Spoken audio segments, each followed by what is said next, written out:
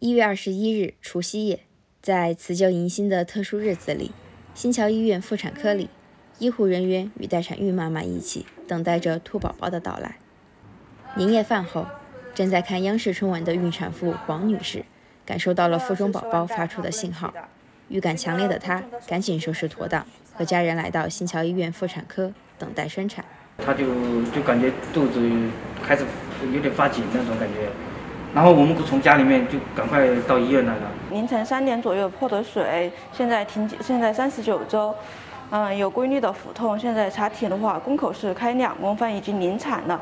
妇产科医生丁元丽告诉记者，孕妇在顺产过程中，医护人员必须要有高度的洞察力，精准捕捉产妇的每一个细节，才能有效应对生产过程中可能出现的突发情况。在过程中，产科医生和助产士一边指导黄女士分娩。一边不断的对黄女士进行着鼓励。宫缩的时候吹气哈，然后间歇期的时候，宫缩间歇期的时候就是不痛的时候，肚子不痛的时候，然后再用劲啊！你要听我的指挥啊，我们两个好好配合，好不好？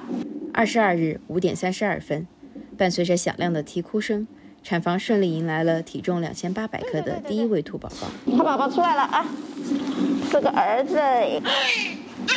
来，恭喜你，你的儿子。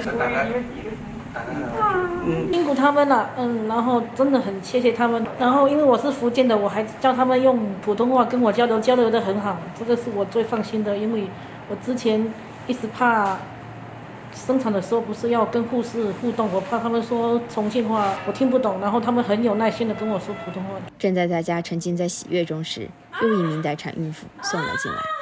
六点二十六分，这名孕妇也顺利分娩一名男婴，这是他们家的第二个孩子。产妇蒲女士告诉记者，因为预产期就在春节前后，所以他们早早就为孩子取名年年。